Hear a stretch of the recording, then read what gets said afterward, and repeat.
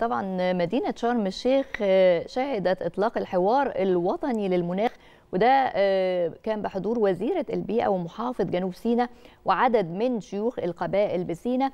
كل ده تمهيدا لاستضافة شرم الشيخ لمؤتمر قمة الأطراف السبع والعشرين للأمم المتحدة للتغير المناخي. استعدادات كتيرة لاستضافة هذا المؤتمر وملفات كتيرة بتحضرها مصر لتقديمها قدام العالم لكي يتحمل مسؤولياته أمام ملف التغيرات المناخية.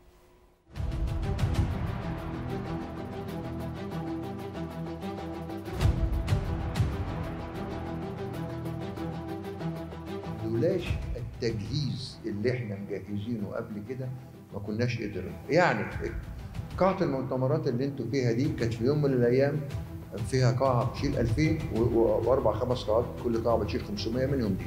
بس بس طيب وبعدين؟ وبعدين؟ جالي البنك الدولي عايز يعمل حاجة؟ ما جه بص عندي قال لي لا ده أنا عايز قاعة تشيل 6000 مش هينفع راحوا بالي في اندونيسيا وعملوه في اندونيسيا. أنا غيرت توجهت بالحديث للخبرات العامة وسياده الرئيس و و و عشان كده بقى عندنا صرح. أنا ببدأ من الآخر. ببدأ من زمان. مش ببدأ أنا إحنا ما بنشتغلش دلوقتي. عندنا قرية مؤتمرات وأنا فخور فخور اللي بتلتقي فيها الشباب وشباب العالم كله بيجي هنا.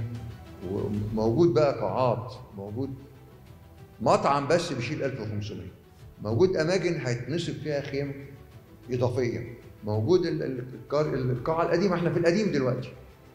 الجديد بقى الناحية الثانية عايز أقول لولاش إن إحنا ما كناش عاملين حسابنا ومجهزين وعندنا هذه القاعات ما كان ليقام هذا المؤتمر في مصر مش في شرم الشيخ في مصر. لأن طبعا الإمكانيات اللي موجودة هنا الحجم الإمكانيات اللي موجود هنا كبير جدا.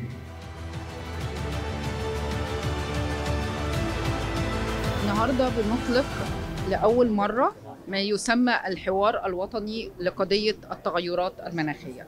فكرة الحوار الوطني هو ليس فقط رفع الوعي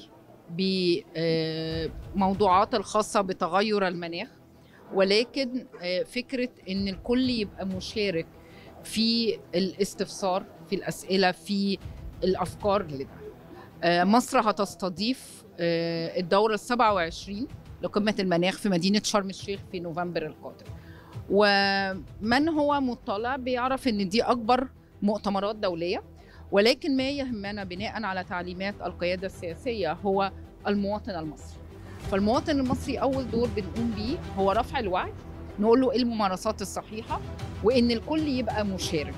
مشارك من قبل الشباب الأطفال الكنيسة المسجد النواب البرلمان سواء مجلس الشيوخ أو مجلس النواب المجتمع المحلي وكذلك المرأة. الحوار الوطني بيأتي في وقت مهم جدا لمصر في ظل استضافتها لمؤتمر التغيرات المناخية كوب 27 كان فكرة المؤتمر إن يبقى المواطن المصري مشارك في أو يكون جزء من الحل يبتدي يعرف تأثيرات هذه القضية عليه إيه الجزء أو إيه اللي ممكن يعمله كمواطن يساهم في خفض الانبعاثات وحتى يأهله إن هو يكون جزء من حل هذه القضية. طبعا المشاركين من مختلف فئات المجتمع شفنا ممثلين من الأزهر ممثلين من الكنيسة الصحافة الإعلام طبعا مجلس الشعب نواب في مجلس الشورى. فالهدف من الحوار الوطني ان هو يشمل جميع فئات المجتمع. طبعا هذه الحوارات مهمة جدا جدا جدا خصوصا في بلورة أنواع المشروعات وأنواع المبادرات اللي إحنا محتاجين إن إحنا نطلقها ونوضحها للعالم وبرضه نطلب عليها تمويلات معينة تساهم في إن إحنا فعلا نتأقلم أو نتكيف مع الآثار تغير المناخ. فهذا الحوار مهم جدا جدا جدا لأن فيه كل فئة من فئات المجتمع بتبين إيه احتياجاتها بعد ما بتفهم إيه الآثار على التغير المناخي على سبيل المثال لو بنتكلم على موضوع الطاقات الجديدة والمتجددة واستخدامها مثلا في عملية آه، تحلية مياه ال- البحر عشان آه، يعني نواجه آه، نقص في المياه أو تغير أو في الجفاف أو غيره. فمهم جدا الفئات المتأثرة إنها تكون موجودة ويكون لها رأي وتعزز حاجة مهمة جدا جدا إيه أولوياتنا؟ اللي إحنا بنتناقش فيها مع العالم الخارجي.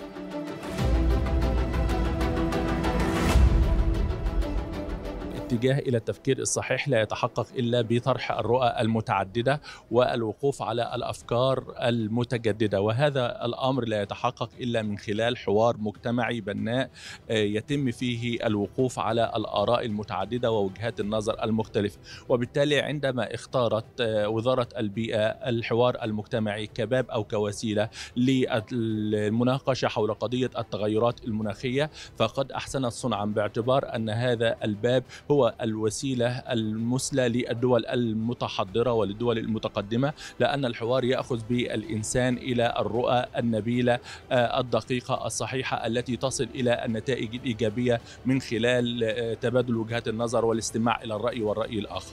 المؤتمر ده مهم جدا عشان محتاجين تكاتف الجهود وتجهيز البلد لمؤتمر المناخ اللي هيتعمل بإذن ربنا في نوفمبر ومش بس كمان مؤتمر المناخ لكن إحنا محتاجين كمان كبلد نشتغل مع بعض وزارة وكنيسة وأزهر ومجتمع مدني وإعلام آه، كل الجهود تتكاتف من أجل إن إحنا نعيش في حياة أفضل وبيئة أفضل.